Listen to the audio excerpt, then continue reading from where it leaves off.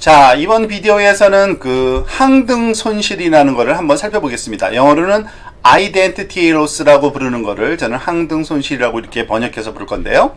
이 사이클 겐에 사용되는 어떤 일종의 추가적인 손실항이라고 보시면 됩니다. 추가 반드시 필요하다기보다도 그 어떤 목적을 위해서 추가된 그 손실 함수라고 보시면 되는데요. 일단 항등 손실이 그 동작하는 방식에 대해서 한번 살펴보고요. 그리고 그것이 출력에 어떤 영향을 미치는지 한번 확인해 보겠습니다. 사실 먼저 그 팁을 드리면 사실은 출력의 색상을 보존하는데 도움을 주는 그런 손실항이라고 이해하시면 되겠습니다.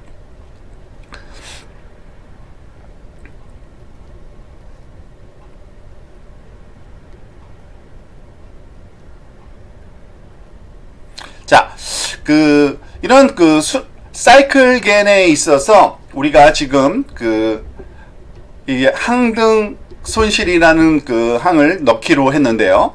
이것이 그 예를 들어서 반대쪽 generator 무슨 말이냐면 제너레이터 G2H 지브라에서 홀스로 가는 그러한 generator에 이와 같은 real horse 즉 horse를 집어넣어서 결과는 당연히 이 generator는 누구를 만들어야 됩니까? horse를 만들어야 되니까 horse를 만들어야 됩니다. 그러니까 horse가 들어갔는데 horse를 만들어야 되기 때문에 그 가장 이상적인 값은 입력값과 똑같은 값을 생성을 해야 됩니다. 그리고 그것의 차이를 우리가 그 손실로 그 함수화 시킬 때 당연히 pixel distance를 쓰게 되겠죠. 그렇게 되면은 그 두 개의 이미지가 똑같으면은 그 loss function이 loss 값이 제로로 당연히 나와야 되고요. 안 그러면 제로가 아닌 큰 값이 나오게 되겠죠. 그래서 우리가 원하는 동작은 입력과 똑같은 그 출력이 되도록 만들어주는 그러한 그 소위 loss 함수를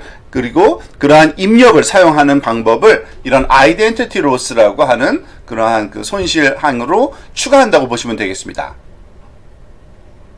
자, 마찬가지로 그 반대의 경우가 있는데요. 무슨 말이냐면 우리가 real 입력을 넣는데 그 이 zebra에서 horse로 가는 그런 그 과정에서 당연히 zebra는 보통 그 black and white죠. 그죠?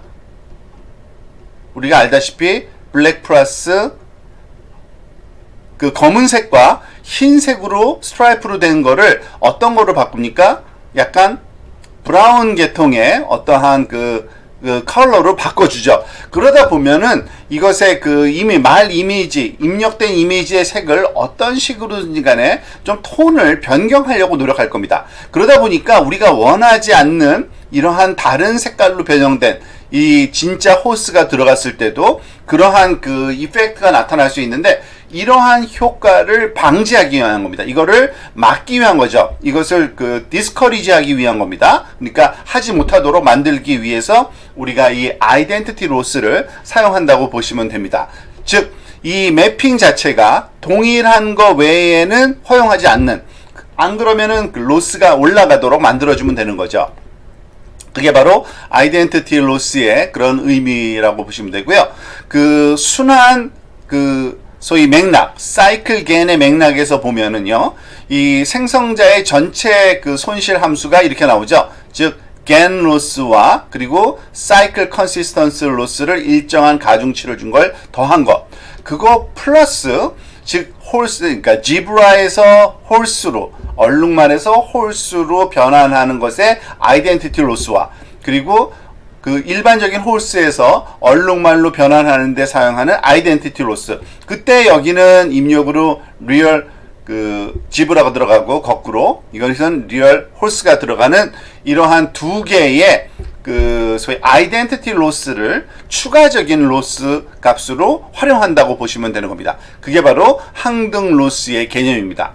자, 그러다 보니까 사실은 그 super parameter가 조금 아니 hyperparameter가 좀 헷갈릴 수 있겠죠. 그래서 cycle consistent loss에는 lambda one이라는 그 소위 hyperparameter를 그리고 identity loss 그두 개의 term을 합한 거죠. 거기다 람다 2라는 또 다른 hyperparameter를 곱해서 이 가중치를 적절하게 우리가 조절해 가면서 이 손실항의 전체 그런 그 비중을 맞춰줄 수가 있, 있게 되는 겁니다.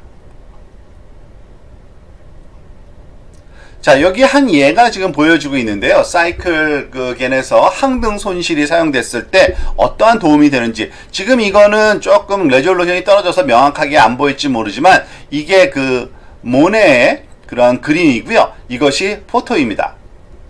당연히 둘 다 포토예요. 그런데 이 그 입력이 들어가서 사진으로 변환시키는 데 있어서 우리가 항등 손실, identity loss term을 그 전체 loss에 포함시켰을 때의 결과고요. 이거는 항등 loss term을 포함 안 시켰을 때의 결과입니다. 보다시피 컬러가 확연하게 바뀐 것을 볼 수가 있습니다. 하지만 이 항등 loss를 사용한 경우에는 원래 오리지널 그 이미지가 갖고 있던 그 컬러의 톤이 그대로 유지된 걸 알 수 있습니다. 당연히 이거는 그 계절의 변화에 따른 어떤 특정한 컬러 코딩을 말하자면은 스스로 학습해서 익힌 건데 우리가 원하는 그러한 그 변환이 아닌 거죠. 그래서 이와 같이 동일항, 그러니까 그 소위 항등 손실항이 그 로스 함수에 없으면은 어떠한 일이 발생하는지를 명확하게 보여주는 아주 대표적인 예라고 할 수 있습니다. 자, 요약을 해볼까요? 우리가 그 항등 손실이라고 identity loss라는 거를 넣을 건데요. 이거는 그 어떤 그 도메인 B에서 한, 한 덩어리, 그러니까 A에서 B로 갈 때, A에서 B로 가는 이러한 그 제너레이터에다가 이 그 결과 도메인에 해당되는 진짜 이미지 하나를 입력으로 사용하는 겁니다. 그리고 그 결과가 당연히 그 동일한 결과로 나오기를 기대하면서 우리가 그 loss 함수의 pixel distance 값으로 우리가 추가한다고 보시면 되고요. 당연히 그 이런 항등 mapping을 사용한 거기 때문에 당연히 아웃풋은 입력과 똑같아야 하는 걸 기대하고 있습니다. 그때 사용되는 그 소위 함수는 pixel distance로 당연히 사용될 수 있고요.